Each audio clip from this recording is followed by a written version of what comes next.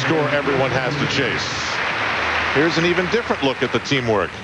Elena Produnova of the Russian team helping prepare the bars for Tatiana Zharganova of the Belarus team. You got to remember that they used to be one country and they're very friendly, speak the same language, and their coaches were from the same system, and many of them have lifelong relationships.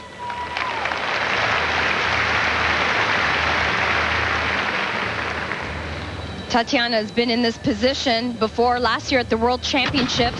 She placed eighth in the world on uneven bars, has a really aggressive style, A lot of these pirouetting elements right into the release skill. That's where they get their bonus points. And look, look at that. That was great control. That's the goal. Go right to the handstand. She probably stayed in the handstand maybe even a little too long, but this is yeah, really impressive. an awesome routine. Keeping her legs glued together on all her elements. This is a nice set. Whoa. Yikes. that was, uh, wow, I thought she was going to hit her feet on the bar there. That handstand was amazing. It's like she hit the pause button.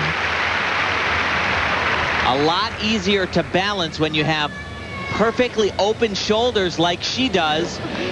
Everything just kind of goes into place. And, you know, she's just like hanging out.